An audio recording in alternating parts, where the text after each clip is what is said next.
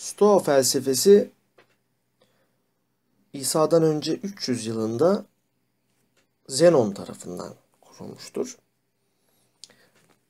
Stoa felsefesinin önemi bir Yunan ekolü olmasından ötedir.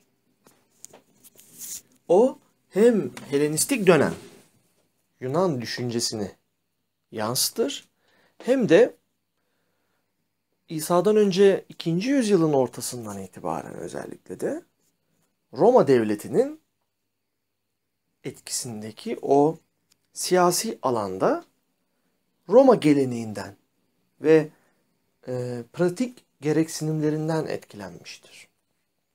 Başka deyişle Stoa felsefesi hem Yunan hem Roma esintileri taşır. Ama tabii geleneksel e, bir okumada şununla başlamamız lazım. İsa'dan önce 300 yılında Kityumlu Zenon bu ekolü başlatmıştır. Nerede? Atina'da. Yunanistan ve Roma'da çok sayıda takipçisi vardır. Varlığını Hristiyanlık döneminde de sürdürmüştür. Genel felsefe tarihi derlemelerinde böyle bir giriş genelde bulunur. Ve e, tabi pardon Hristiyanlık döneminde etkinliğini sürdürmüş olması hem Hristiyanlık öğretisinin içinde hem de onun etrafında Stoa felsefesinin diğer ekollerden sıyrılmasını, farklılaşmasını daha önemli olmasını sağlamıştır.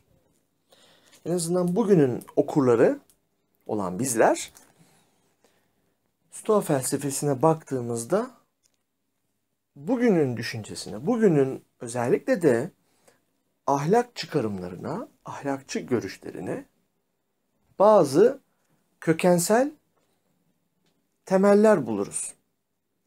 Ve Stoa felsefesini incelerken oradaki farklı filozofların Yunan veya Romalı olsun onların öğretilerinde günümüzde kendi yaşam pratiğimize dönük bazı öğütler buluruz. Bu öğütler toplamda bir ahlak felsefesi sunar bize, bir yaşam felsefesi sunar. Stoa felsefesini belki de diğer ekollerden daha anlaşılır kılan şey de budur. Doğrudan yaşama dönük olması, yaşam pratiğine dönük olması. Gerçi bütün felsefe ekolleri en azından ahlak teorisi sunanları kastediyoruz tabii ki. Temelde yaşam pratiğine dönük ilkeler sunar ve e, o ilkelerin uygulanması durumunda bir tırnak içinde cennet vaat ederler bir ahlak cenneti vaat ederler. O ahlak cennetinin temelinde mutlu yaşamak vardır. Mutlu, huzurlu olmak vardır. Tranquilitas latincesiyle. Bu mutlu yaşama erişmenin koşullarını bize sunarken bir ahlak felsefesi genel olarak söylüyorum bunu bütün ekoller için koyduğu kuralların kesinliğini de bize benimsetir. Bu kuralların bir kısmı doğaya dönüktür, fizikseldir. Nasıl, doğa karşısında nasıl tavır takınmamız gerektiğini bize anlatır. Bir kısmı da bireysel ve toplumsaldır. Bireysel olan psikolojik, toplumsal olan da sosyolojik bazı sonuçlar, ödevler ya da en basit söylemiyle yapılması ve yapılmaması gereken davranışlar listesi sunar. Esasında dinlerin yaptığı şey de budur. Ne yaparsak cennete ve ne yaparsak cehenneme gideceğimize dair bazı ilkeler sunarlar. Stoacılığın Hristiyanlık üzerindeki temel etkisini de burada aramak gerekiyor. Bize sunduğu ilkeler dinsel açıdan kesinlik içerir. Tabi zamanla göreceğimiz gibi bütün bu ilkelerin temelinde doğaya uymak, secundum naturam anlayışı vardır. Doğaya uymak, doğayı taklit etmek ve doğanın öncülüğünde, onun daha doğrusu önderliğinde bir yaşam pratiği geliştirmektir. Çünkü doğa kendi içinde tutarlıdır stoacılara göre. Kapsamlı bir şekilde göreceğimiz gibi kendi içinde tutarlı olan doğanın örnek alınması bireye de kendi içinde tutarlı olması gerektiği mesajını sunar. Yani stoacılık bize diyor ki doğayı örnek alırsan kendi içinde de doğa gibi tutarlı olursun. Tabi tutarlılıktan kastettiğimiz şey nedir diye sorarsanız konstantia yani bir şeyin istikrarlı bir şekilde varlığını başlangıçtan sona doğru götürmesidir. Bu çok önemli. Başladığı gibi götürmek. Doğa böyledir. Başladığı gibi götürür.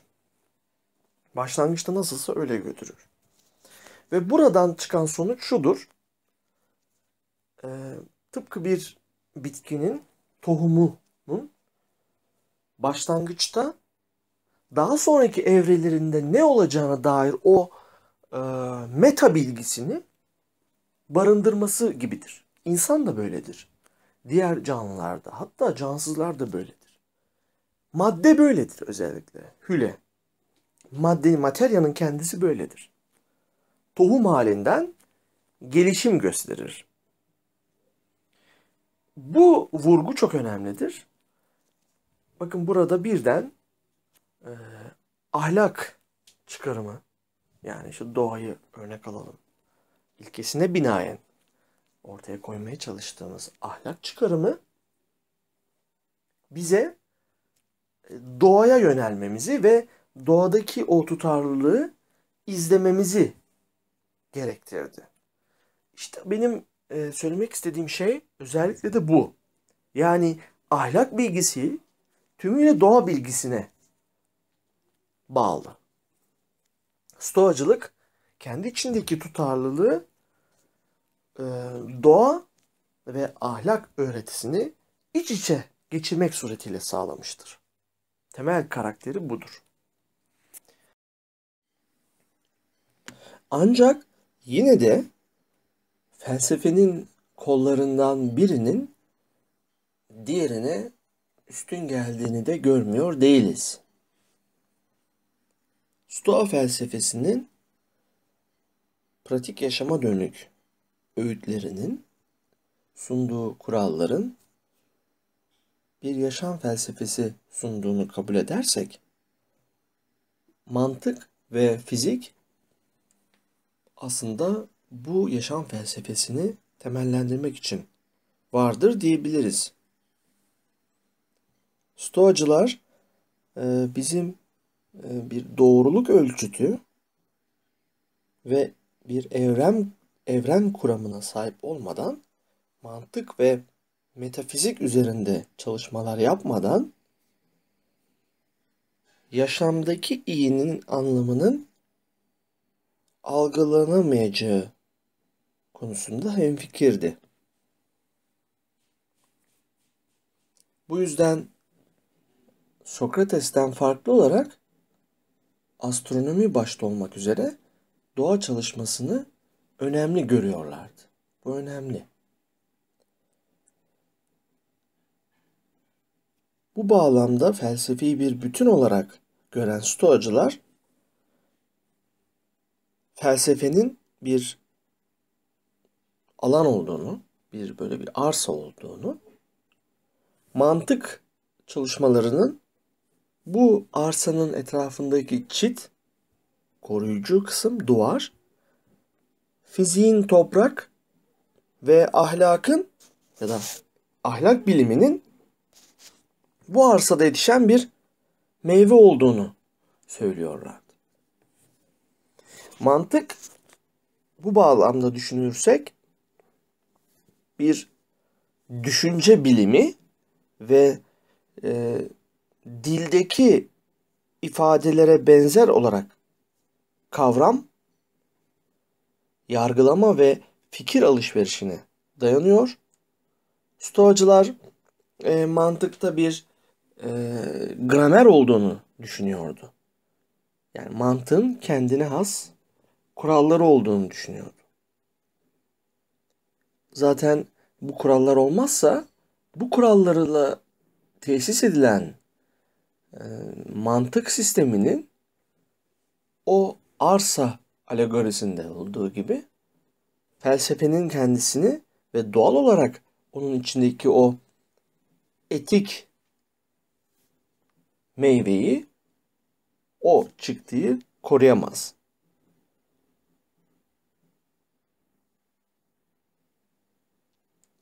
Bu konuda tabi bilgi kuramıyla alakalı olarak e, diyalektik olarak adlandırılan çalışma alanının burada bir araca dönüştüğünü, araçsallan, araçsal bir niteliğe kavuştuğunu görüyoruz. Bilginin çıkış noktası nedir? Ve gerçeğe nasıl ulaşırız?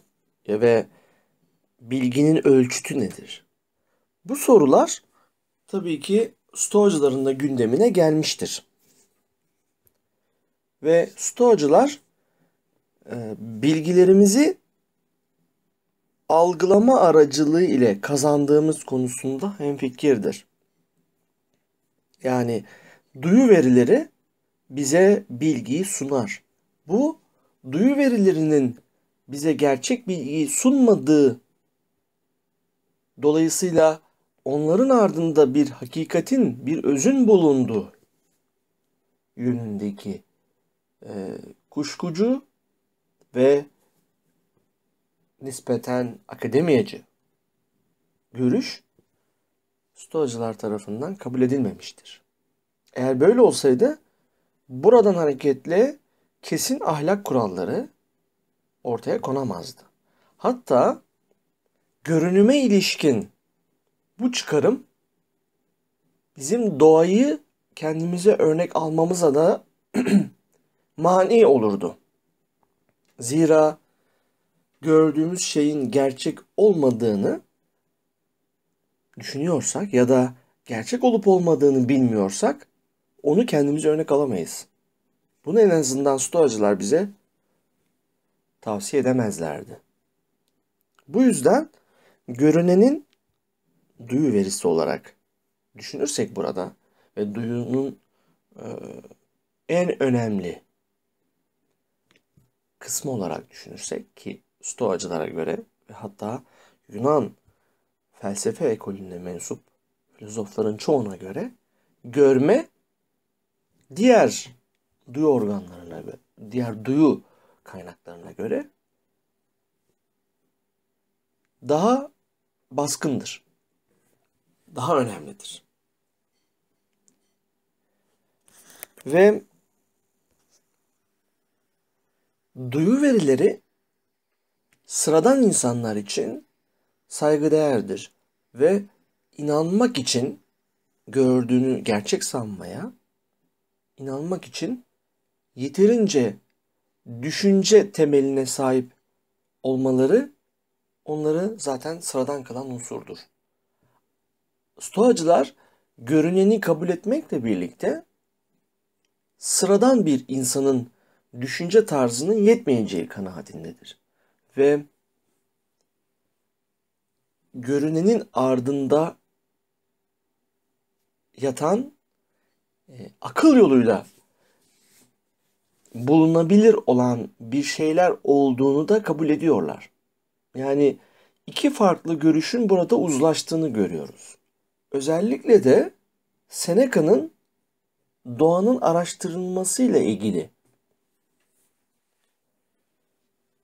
düşüncelerinde bunu net bir şekilde görüyoruz. Bize temel hedef olarak doğanın içine gitmek, doğanın özünü araştırmak, böylece gördüğümüz her şeyin ardında yatan kutsallığı kavramak bir hedef olarak sunulmaktadır. Başka deyişle doğal nedenler ve doğal unsurlar ile onun ardındaki kutsallık aslında birbiriyle çelişen değil, birbirini var eden bir gerçeği bize göstermektedir. Bir bütün olarak değerlendirilmelidir. İdeal Stoa bilgisine göre ona düşen daha doğrusu bu tutarlı kavrayışa varmak ve buradan hareketle insanlara bir yaşam ilkeleri yığını sunmaktır. Ve doğru yaşamaktır tabi kendisi içinde.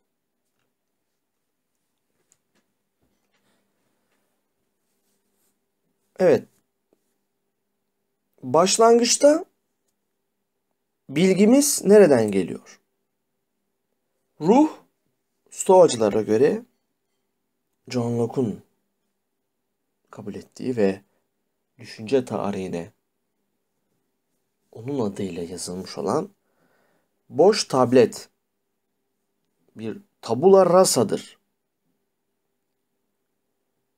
Ruh başlangıçta boş bir tablettir. Nasıl ki bir bal mumu üzerine baskıyla uygulanan baskıyla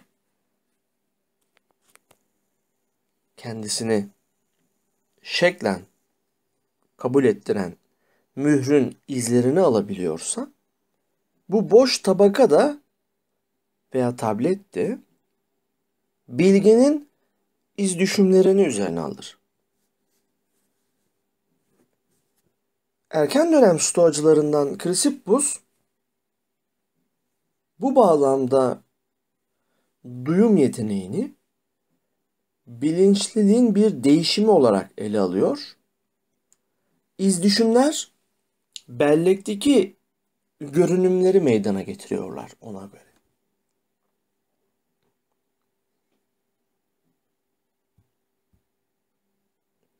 Bunların birleşiminden bütün bu duyunun biriktirdiği bilgilerin birleşiminden insan deneyimi meydana geliyor. Bu da yaşamın bilgisidir. Duyumlardan ve görünümlerden genel fikirler oluşturuyor insanlar ve bunlar ortak deneyimlere dayandıkları zaman bir tür ortak sanı oluşturuyorlar. Bütün insanlarda ortak olan sanılar. Notitiae communes. Ortak kavramlar oluşuyor. Ortak nosyonlar oluşuyor. Onlar bütün insanlar için aynıdır bu ortak sanılar ve yanılsama ya da hata ile alakalı değillerdir. Bilimsel kavramlarda isteğe bağlı yansımanın sonucu olarak bilinçli ve yöntemsel olarak üretiliyorlar. Yani insanın isteği ile edindiği bilgi arasında bir ilişki vardır. Bu bütün felsefe ekollerinin Yunan'da kabul ettiği bir durumdur. En nihayetinde duyum algılaması bütün bilgilerimizin temelidir. Zihnin genel fikirler oluşturma niteliği vardır stoacılara göre.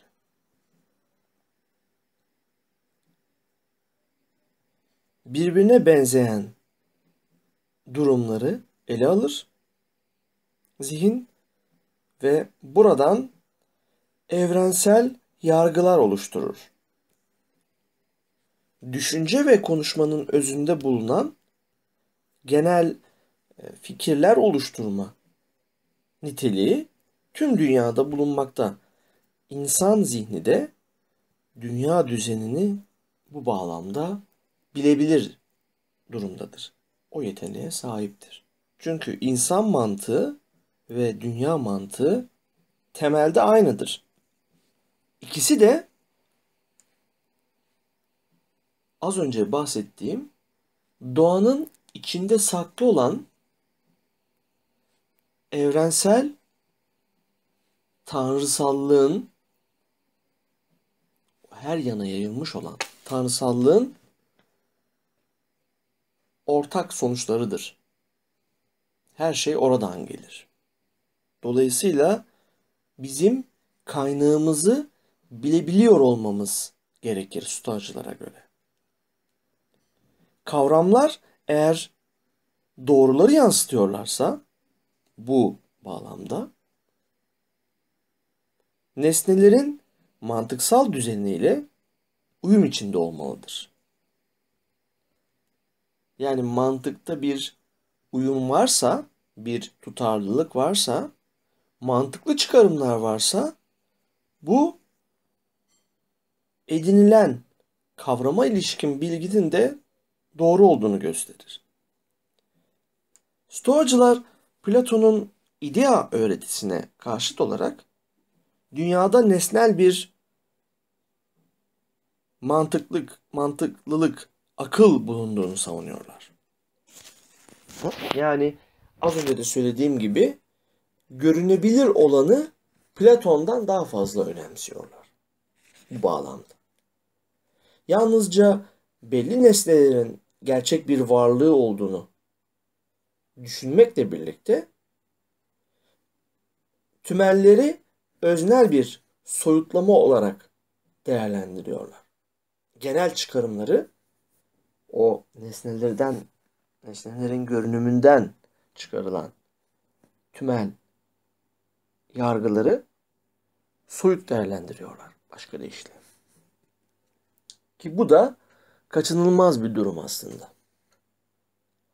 O halde bilgilerimiz algılama ve o algıya bağlı olarak ortaya çıkan genel fikir ve kavramlar üzerinde bulunur.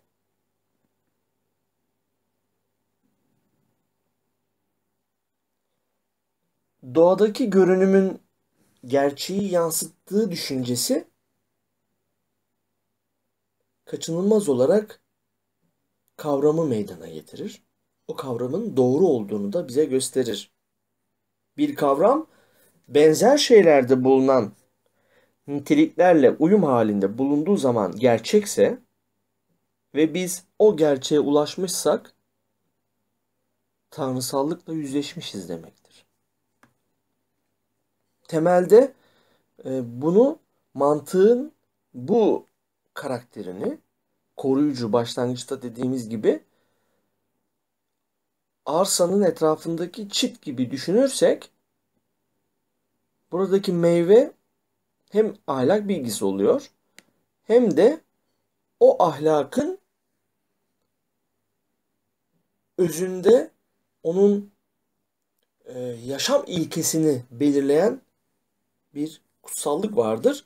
O kutsallığı da bu kavramlar sayesinde ve bu mantığın bu koruyuculuğu sayesinde diri canlı tutabilmekteyiz. Gerçekten de Stoacıların metinlerine baktığımızda doğa, kutsallık ve kendi içindeki mantıksal tutarlılık fikirleri daha önce de söylediğim gibi öylesine iç içe geçmiştir ki mantık ilkelerinden ve klasik mantık önermelerinden bile ahlak dersleri çıkabilmekte ya da bir takım e, tanrısallık düşüncesine ait bazı kabuller de anlaşılabilmektedir.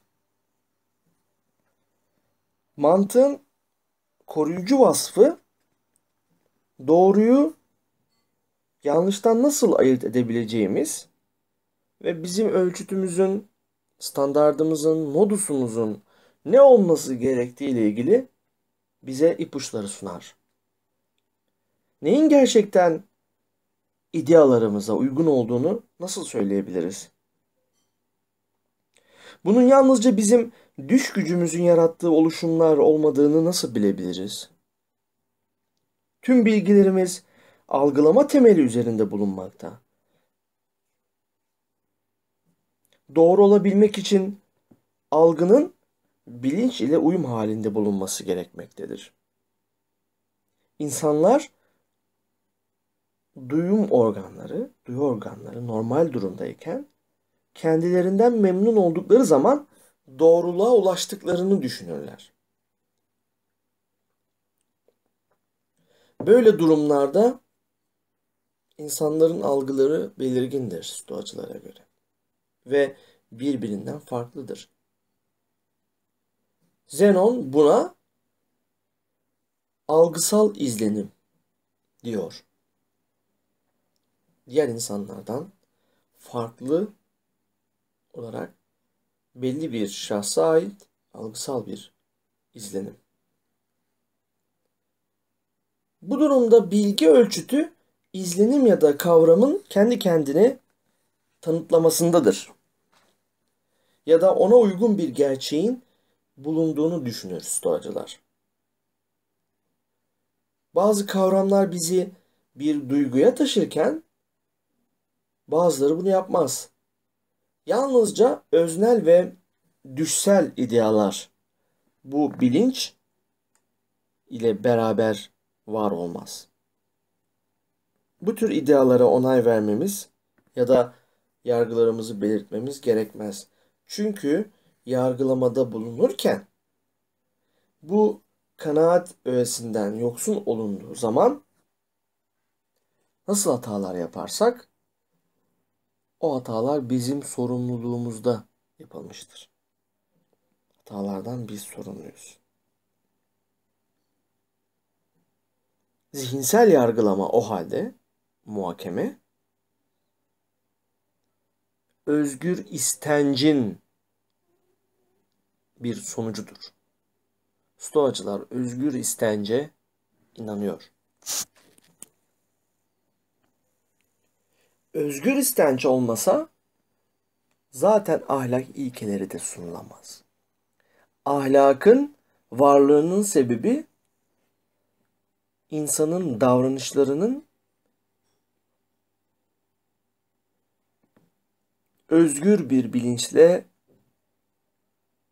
kontrol edilebildiği varsayımıdır. İnsanda eğer özgür bir bilinç ve özgür bir istenç yoksa ona doğrunun ve yanlışın ne olduğuna ilişkin bazı kurallar sunamazsınız. Tekrar ma- e, mantık ve bilgi bağlamında düşünürsek gerçeklik bilgisi bilim ya da felsefeye özgü değildir. Bütün insanlar stoacılara göre genel ideaları aracılığı ile bilgiyi paylaşırlar. Ortaya ortak kavramlar koyarlar. Bu bağlamda bilim de doğru muhakemenin düzenli ve ideal yapısını oluşturur. Bu alanda bir önerme mantıksal gereklilikler aracılığı ile diğer önermeden tümden gelim yöntemiyle elde edilebilir.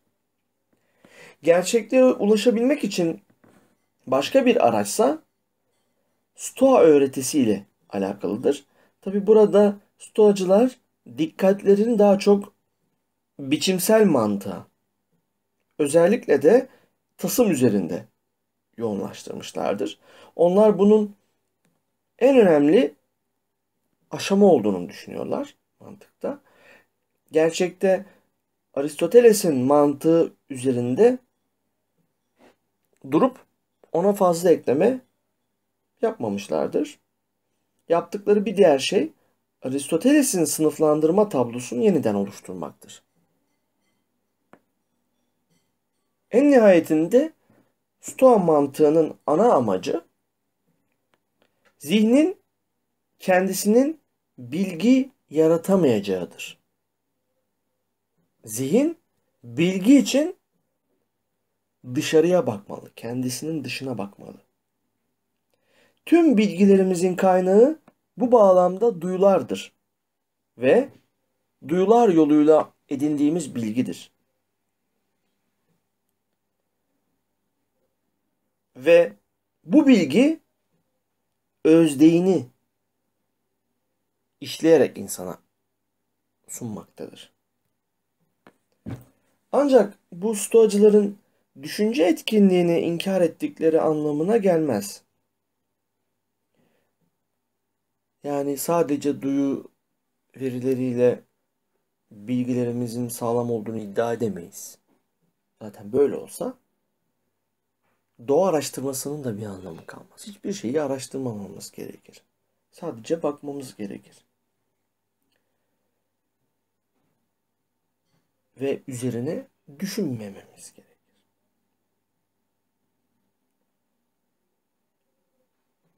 Gerçekten de bilginin deneyim üzerine yansıma ile ham maddenin kavramlara göre düzenlenmesi ile onunla ilgili muhakemelerin oluşturulması ile ve zaman ve mekan içinde doğrudan doğruya oluşturulan sonuçlar aracılığı ile ilerlemekte ve gelişmektedir diyor Frank Tully.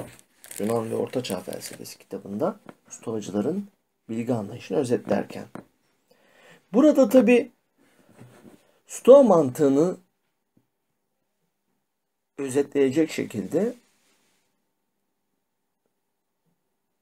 onun aslında etik duyuşu koruyan bir unsur olmaktan öte anlam taşımadığını söylemek abartılı olacaktır. Ama bize bir ipucu verecektir Stoa felsefesiyle ilgili. O ipucu Stoa felsefesinde temelin ahlak olduğudur. Ve dolayısıyla ahlak temelde yer alıyorsa buradan ahlakın e, tabii ki onun biliminin yani etiğin ahlak sanatının bize kanıtlanması gerekir. Stoacılar bu kanıtı mantık aracılığıyla yapmakla birlikte onu kutsal bir temele yerleştirerek de yapmaya çalışıyorlar. Bu bağlamda bir sonraki videoda Stoacıların metafizik ve teolojik unsurlar üzerine neler düşündüğünü ve ahlakı, ahlak bilimini metafiziğe nasıl yedirdiğini incelemeye çalışacağız. Evet bir sonraki videoda tekrar görüşmek üzere.